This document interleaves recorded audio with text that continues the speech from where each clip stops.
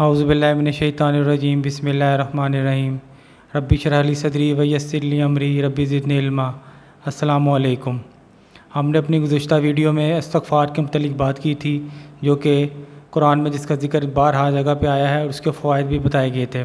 आज की वीडियो में हम मसनून इस्तफ़ार के मतलब बात की करेंगे, जो नबी करीम अलैहि वसल्लम ने जिस पर ख़ुद भी अमल किया और सहाबा को भी इस पर अमल करने की तलकिन फरमाई और बहुत से और इस्तफ़ार जो कि मसनून किताबों में उनके मतलब हम बात करेंगे। अगर आप इस चैनल पर नए हैं काइंडली चैनल को ज्वाइन करें और मुस्ंद इस्लामिक वीडियो को देखते रहिए और उनको शेयर करें। कोई एक वीडियो जो कि हमारे शेयर करने से किसी की अगर वो ज़िंदगी बदल दे या हालात बदल दे तो इन उसको हमें फ़ायदा होता रहेगा। अस्तफ़ार तीन चीज़ें इस तरह हैं कि तीन ज़िक्र या तीन तस्बीहात या तीन मामूल ऐसे हैं कि जो ज़िंदगी भर की आपकी मामूलात, इबादत, रियाजत पे भारी हो सकते हैं।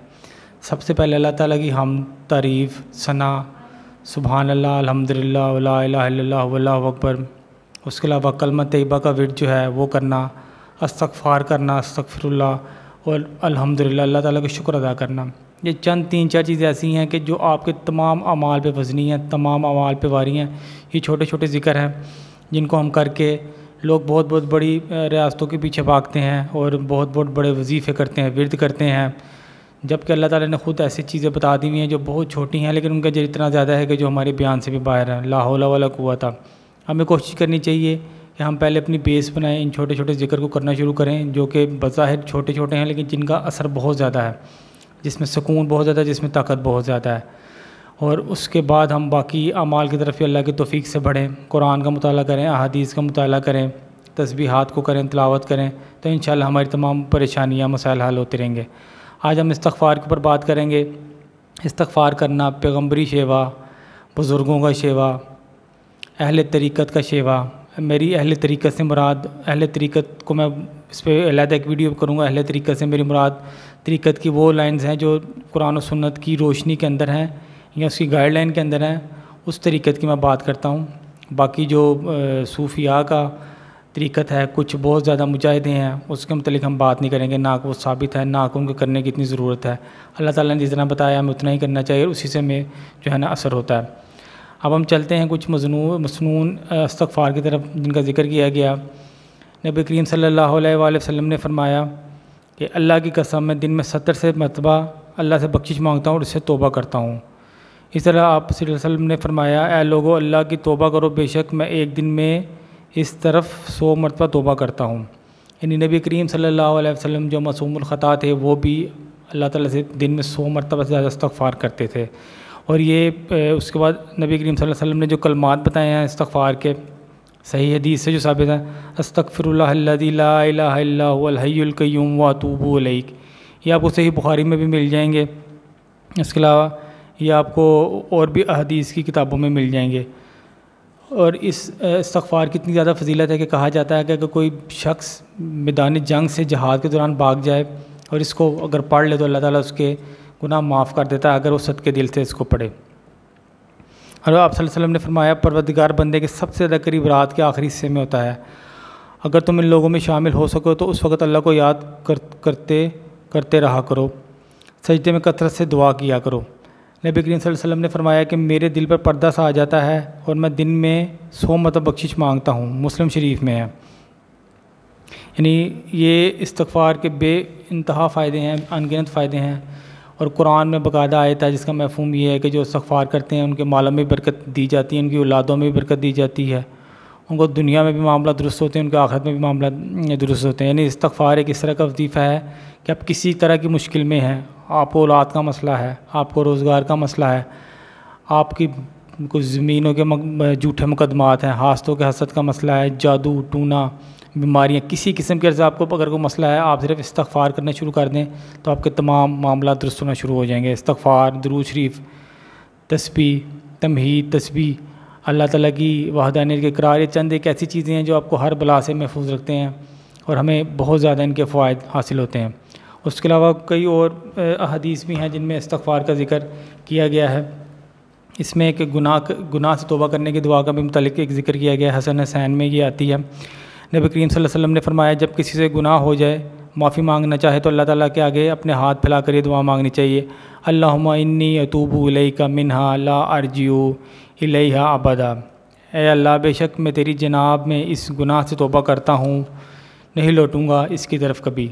ये कोशिश करनी चाहिए कि हम जब भी हमसे कोई गुनाह हो जाए तो हम माफ़ी मांगे, सद के दिल से माफ़ी मांगे, और हम कोशिश करें कि आइंदा हम उस गुनाह से बचें और हम नेकी की तरफ़ जो है कामदन रहे।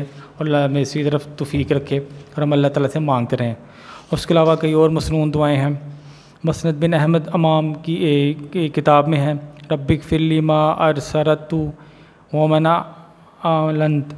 ए मेरे रब, मेरे लिए मेरे गुनाह माफ़ फरमा दे जो मैंने छुप के किया और जो मैंने एलानिया किया यानी इंसान जितना मर्ज़ी गुनाहगार हो जाए, जब वो अल्लाह ताला के सामने जाता है, अपने गुनाहों की मफ़ियत करता है तो उसको पता होता है कि मैंने जो काम छुप के किए एलानिया के सब अल्लाह को ताला को मालूम है, लिखे गए हैं। इसी तरह इसी तरह दुआ भी इसी तरह मांगनी चाहिए, आजी से, इनकसारी से। और ये जानते हुए कि अल्लाह ताला सारा इन चीज़ों से वाकिफ़ है और अल्लाह ताला नीयतों के हाल भी जानता है अल्लाह माफ़ भी फरमाता है। इसी तरह मसद अहमद में एक और है अल्लाह मकफ़िली ज़म्बी व ख़ताई व आमदी। ए अल्लाह मेरे लिए मेरे गुनाहों, लर्गिशों और जानबूझ के किए जाने गुनाहों को माफ़ फरमा दे। सुबहान अल्लाह व भी हमदी अस्तफ़रल्ला व तूबी लई ये बहुत ज़्यादा किया जाने वाला इस्तफ़ार है, मशहूर। हमाम अहमद, ये मसनद में ये भी है, पाक है अल्लाह। अपनी तारीफ़ के साथ मैं अल्लाह से बख्शी चाहता हूँ, इसी की तरफ़ रजू करता हूँ। यानी साबित हुआ कि जब भी बख्शी चाहनी है तो अल्लाह ताला से जानी है, उसी तरफ़ रजू करना है। रजू किस तरह करना है? नमाज़ पढ़नी है, सदका देना है नए काम करने हैं, तस्बीहात करनी है, यही रजू अल्लाह की तरफ़ करना। उसके अलावा और कोई तरीका नहीं अल्लाह ताला से रजू करने का, कुरान की तलावत, यही चीज़ अल्लाह ताला से रजू करने के। सुबहानक अल्लाहुम्मा रब्बना व हमदी का अल्लाहुम्मा फिरली सही बुखारी की ये हदीस है, ए अल्लाह तू पाक है, ए हमारे रब, और तेरी ही तारीफ़ है, ए अल्लाह हमें बख्श दे। यानी इसमें भी देखें, तारीफ़ का ज़िक्र किया गया, फिर बख्शिश का ज़िक्र किया गया। इसमें मसनत अहमद में अल्लामफ़िरली व तब अला इन्ना का अंतल तवाबुर गफूर। सौ दफ़ा पढ़ने का इसका हुक्म दिया गया है कि अल्लाह, मुझे माफ़ फरमा और मेरी तोबा को कबूल फरमा। बेशक तो बहुत तोबा कबूल करने वाला और बख्शने वाला है। ये अल्लाह ताला की जो ज़ात है, उसके अल्लाह ताला की जो सिफ़ात है, उनमें से ये भी एक सिफ़ात है कि अल्लाह माफ़ करने वाला है और बहुत ज़्यादा माफ़ करने वाला है। अल्लाह ताला की रहमत, अल्लाह ताला के गुस्से पे गालिब है। इसी चीज़ को मद्देनज़र रखते हुए हमें अल्लाह ताला से मांगना चाहिए। अच्छी नीयत के साथ अल्लाह ताला कबूल फरमाता है। अस्तफ़िरल्लाम व तूबू ये सनी अबन दाऊद में हदीस है, मैं माफ़ी माँगता हूँ अल्लाह से। इसके अलावा कोई मबूत नहीं, वो ज़िंदा है, कायम है उसी की तरफ़ तोबा करता हूँ। इसमें भी अल्लाह ताला की सफ़ात के साथ अल्लाह ताला का से मांगा गया। यानी आप देखें, जिस हम वसीले की बात करते हैं, वसीला किस चीज़ को बनाया जाए तो जितनी भी सही हदीस हैं मुस्तंद हदीस हैं, हजूर वसल्लम से साबित जो हदीस है, उन सब में अगर आप देखें जो वसीला है, वो अल्लाह ताला की ज़ात और सफ़ात को ही बनाया गया है, ना कि किसी और इंसान को या किसी और शख्सियत को। और उन्हीं सफ़ात की वजह से अल्लाह ताला से बख्शिश मांगी गई है, रिज़क मांगा गया है, शफा मांगी गई है। रहम मांगा गया है, हदायत मांगी गई अल्लाह ताला की सफ़ात की वजह से ही वो मांगी गई। और अल्लाह ताला ने भी खुद फरमाया कि मेरे अच्छे अच्छे नामों से मुझे याद करो। तो अल्लाह ताला को याद करने से इंशाल्लाह जो अल्लाह ताला को याद करता है, अल्लाह ताला भी अपनी मजलिस में इसको ज़िक्र फरमाते हैं। उसके अलावा कुछ सैदुलस्तफ़ार एक कहा जाता है ये सही बुखारी में एक लंबी हदीस है। अगर आप पढ़ना चाहें तो हदीस number six three zero six है। इसमें सैदुलस्तफ़ार की सारी तफसील बयान की गई है। अभी मैं इसमें सिर्फ़ इसकी बात करता हूँ। इसके ऊपर एक अलग वीडियो बाद में बनाएँगे।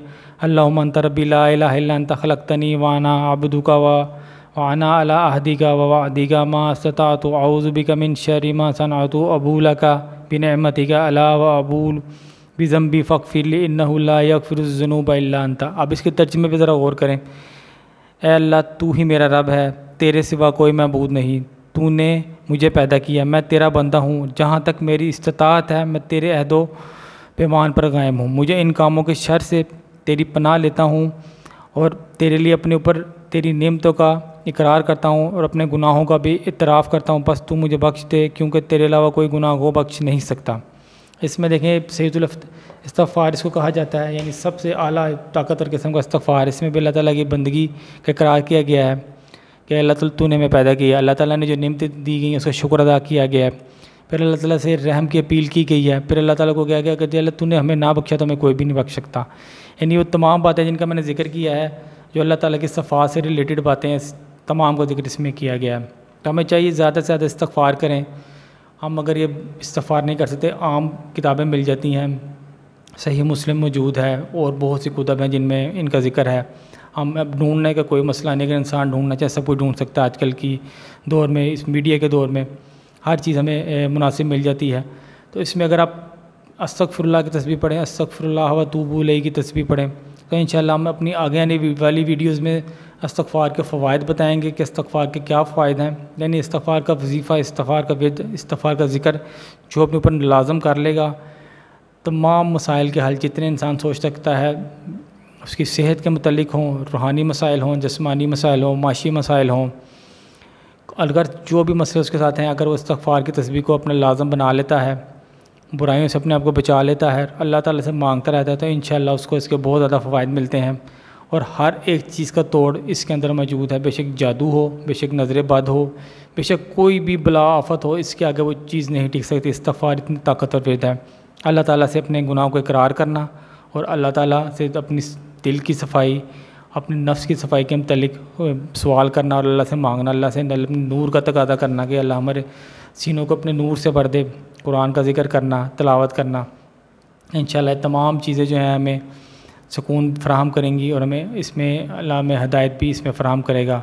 हमें चाहिए ज़्यादा से ज़्यादा उठते, बैठते, जागते, सोते अस्तफ़रल्ला का विरद करें। और लोगों को भी बताएँ, औलाद को भी बताएँ, अगर हो सके तो हफ़्ते के किसी एक दिन में, ख़ासकर जुम्मे को जुम्मेरात को, मुबारक दिनों में सारे घर वाले बैठ के अस्तफ़ार की विरद करें, तस्वीर पढ़ें दरूज शरीफ पढ़ें, अल्लाह की हम सना बयान करें। तो इन ताला आप देखेंगे घर में किस तरह बरकतें आती हैं, नहूसतों के डेरे किस तरह ख़त्म होते हैं। किस तरह तमाम मसले बिगड़े हुए हमारे ठीक होते हैं और हमें एक दिली सुकून इतमान मिलेगा और जो हमारे पास बैठेगा, जो हमारे पास बैठ के हमसे गुफ्तु करेगा, उसको भी ये सुकून और सकीनत महसूस होगी और जिसका, और जो सिर्फ़ अल्लाह ताला के ज़िक्र की वजह की बरकत की वजह से ही होगी, जिसमें हमारा कोई कमाल नहीं होगा। व आखिर तवाना अनिलहमदिल्ला रबालमीन